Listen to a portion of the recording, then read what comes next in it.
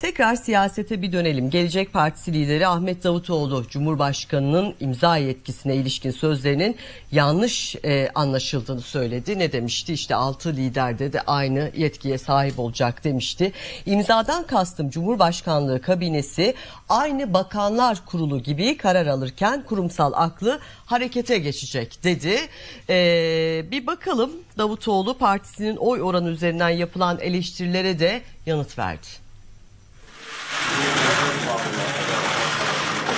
Bir cumhurbaşkanı seçtiniz diyelim ve o cumhurbaşkanı Tabii özür ki dilerim, ilkesel. Yarın dedi ki Bakın orada da ben kabul söylüyorum etmiyorum. zaten. Sizin aldığınız oylar da düşüktü.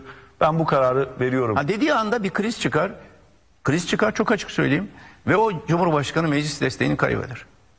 Ve ülke yeniden seçime gitmek zorunda kalır. Gelecek Partisi lideri Ahmet Davutoğlu'nun kriz çıkar açıklaması farklı yorumlara sebep olmuştu. O Aslında sözlerine açıklık getirdi, yanlış anlaşıldım yani? dedi. Bir kriz çıkacağından değil, çıkmayacak. Bugünkü yönetimin gerçek yaşadığı krizleri göremeyen, görmeyenler her gün kriz yaşıyor.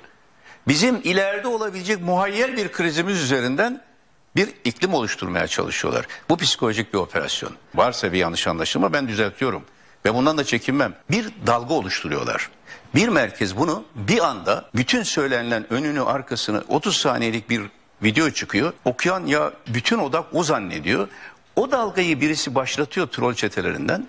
Arkasından birileri iyi niyetli de olsa o dalganın tesiriyle dalgayı büyütüyor. Davutoğlu Cumhurbaşkanı imza yetkisini altılı masa liderleriyle paylaşacak sözleriyle aslında ne anlatmak istediğini açıkladı. Cumhurbaşkanı üzerinde vesayet oluşturulacak anlamına gelmez dedi. İmzadan kastettiğim de her kararın imzalanması değil. İmzadan kastım da Cumhurbaşkanlığı kabinesi aynen bakanlar kurulu gibi karar alırken kurumsal aklı harekete geçirecek.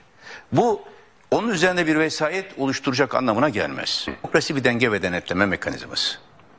Cumhurbaşkanı denge ve denetleme mekanizmasıyla meclis kontrol eder. bir taslak belgemiz var. Neredeyse yüzde 95 oranında bu yönetim modeli üzerinde mutabakat var ama bu henüz yüzde yüz mutabakata sa- varıp da imza altına alınmadan içerikle alakalı fazla bir e, bilgi vermeyi ben çok doğru görmüyorum. Partisinin oy oranına ilişkin yaklaşımlara da tepki gösterdi Davutoğlu. senin oy oranın nedir diye sorana ben nezaketsiz derim. Gerçekten çok rencide edici bir şey.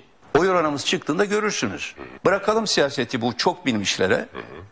Şunun oy oranı bu desin. Mesela biz çıkalım masadan madem o zaman.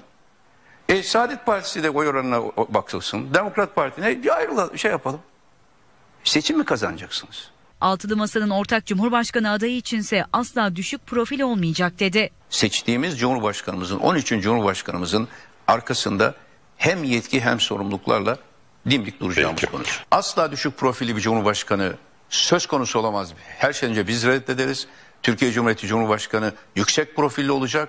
Yüksek profilli olması için de bütün genel başkanlar onun yanında omuz omuza duracağız. Ortak adayı belirleyelim sonra da kimse ona karışmasın. Şimdi böyle bir bakış açısı mevcut sistemin kodları. Yok parlamenter sisteme geçme iddiamız varsa parlamenter sistemin ruhunda ne var? Katılımcılık var. Parlamenter sistemle ülkenin yönetilmesi demek aynı zamanda sürekli bir toplumsal ve siyasi mutabakat arayışı demek. Mevcut sistemi kutsuyorsak çok güzel bir sistem biz buna devam edelim diyorsak ona göre aday belirleyelim ve adayı bir kere seçelim. Seçilen aday da aklına geleni yapsın diyorsak bu tartışmayı o hatta yürütebiliriz.